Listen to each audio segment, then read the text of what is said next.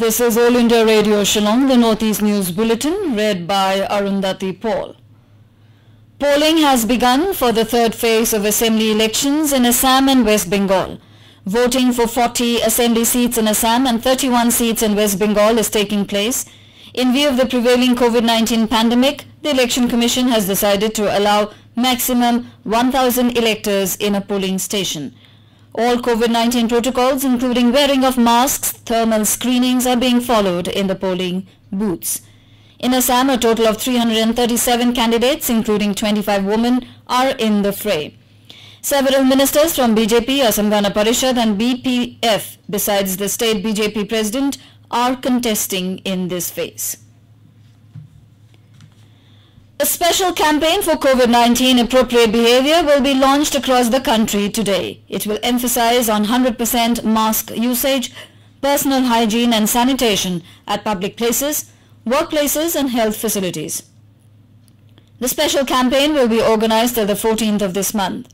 In a high-level meeting yesterday, Prime Minister Narendra Modi emphasized that awareness of the community and its involvement is paramount for sustainable COVID-19 management. It was highlighted that there is an alarming rate of growth of COVID-19 cases and deaths in the country. All India Radio correspondent reports some of the main reasons for the rapid rise in COVID cases can be attributed to the severe decline in compliance of COVID-appropriate behavior, primarily in terms of use of masks and maintaining do gaz ki duri. Four new COVID-19 cases, including three in the Ri-Bhoi district and one in East Khasi Hills, added up to 99 active cases in Meghalaya yesterday. Seven more recoveries from the viral infection took the number of recovered cases to 13,877. With 62 active COVID-19 cases, East Khasi Hills, that includes state capital Shillong, is the most affected district followed by 25 active cases in the West Garo Hills.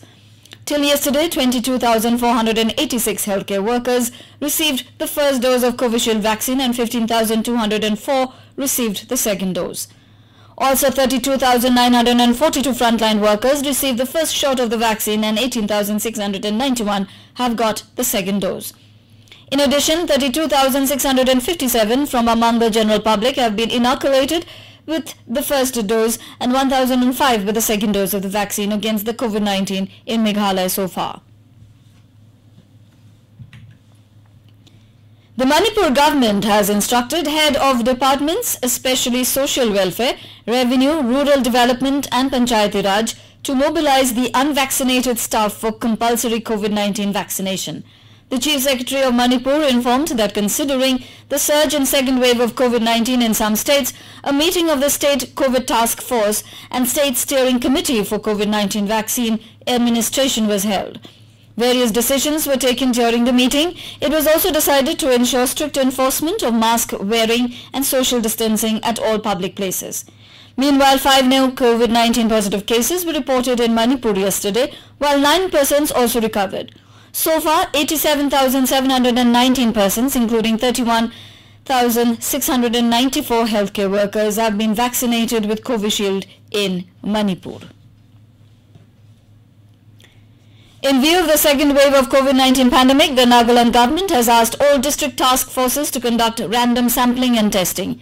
In an advisory, the Health Directorate of Nagaland has asked the district task force to assess the trend of the COVID-19 transmission and prevalence in the community through random tests. The Meghalaya Power Distribution Corporation Limited has issued a general notice for disconnection of electricity supply to all defaulters in the state with effect from the 16th of this month. The Power Corporation will commence rigorous electricity disconnection drive under Section 56 of the Electricity Act 2003 against all defaulting consumers. There shall also be prosecution proceedings against those permanently disconnected consumers who have failed to settle their dues. Strong tremors were felt across Sikkim late last evening. Director of India Meteorological Department Gangtok Gopinath Raha informed that the magnitude of the earthquake was 5.4 and the epicenter was in the India-Nepal border. No loss of life or property was reported. And with that, we end the Northeast News Bulletin from All India Radio, Shillong. Have a nice day.